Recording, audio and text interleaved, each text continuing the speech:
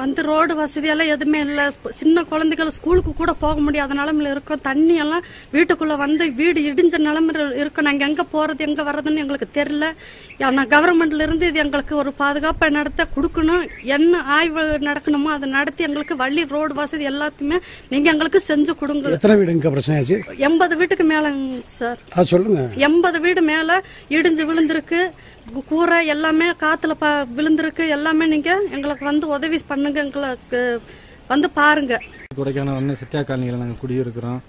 நாங்கள் எங்களுக்கு அடிப்படை வசதி எதுவும் இல்லை. இந்த மூணு நாளாக காற்று மழையெல்லாம் நாங்கள் பூரா வீடு பூரா சேதம் ஆயிடுச்சு பூரா காற்று தகரம் கிகரம்லாம் தூங்கிருச்சு. வயசு பிள்ளைகளை நாங்கள் வச்சு தனியாக படுத்திருந்தோம். நைட்டு ஜாமத்தில் பூரா தூக்கிட்டு போயிருச்சு. என்ன ஏதுன்னு மழை வீட்டில் வீட்டில் பார்த்தீங்கன்னா தண்ணி தேங்கியிருக்கு. அந்த தண்ணியில் தான் நாங்கள் மூணு நாளாக வாழ்ந்துகிட்டு இருக்கிறோம்.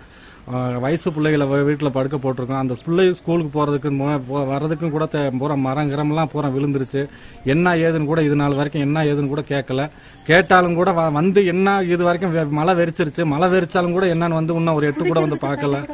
அடிப்படை வசதி ரோடு வசதி எதுவுமே இல்லை. பூரா இடிஞ்சு கிடக்கு சார். நீங்கள் பார்த்த கவர்மெண்ட்லேருந்து நீங்கள் உங்கள் கையெடுத்து காலில் விழுகிற எது எடுத்தாலும் வந்து எங்களுக்கு நல்ல அடிப்படை வசதியெல்லாம் செஞ்சு கொடுங்க. ஓகே. கடந்த மூன்று நாட்களாக இந்த கொடைக்கானல் மலை பகுதியில் ஓய்வு புயலால் கடுமையான பாதிப்பு ஏற்பட்டிருக்கிறது எல்லாத்துக்கும் தெரியும். குறிப்பாக கிராம பகுதிகளில் மிகப்பெரிய அளவில் வீடுகளும் கடுமையாக சேதத்துக்குள்ளாயிருக்கு. மின்சாரம் சுத்தமாக துண்டிக்கப்பட்டிருக்கு. குடி தண்ணீர் எங்கேயுமே இல்லை. ரோடுகளும் கடுமையாக கடுமையாக சேதப்ப சேதப்படுத்தியிருக்கு.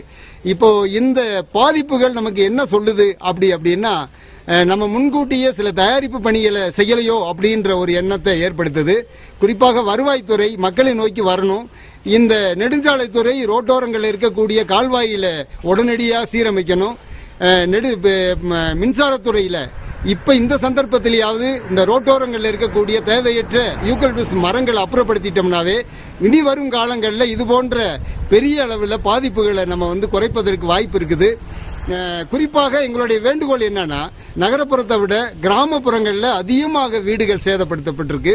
அஹ், இருக்கு எனவே வருவாய்த்துறை உடனடியாக மக்களை வந்து சந்தித்து இந்த சேதங்களை உடனடியாக கணக்கெடுத்து மக்களுக்கு உரிய நிவாரணம் வழங்கணும் அப்படின்றத கொடைக்கானல் மக்கள் சார்பில் கேட்டுக்கொள்கிறோம்.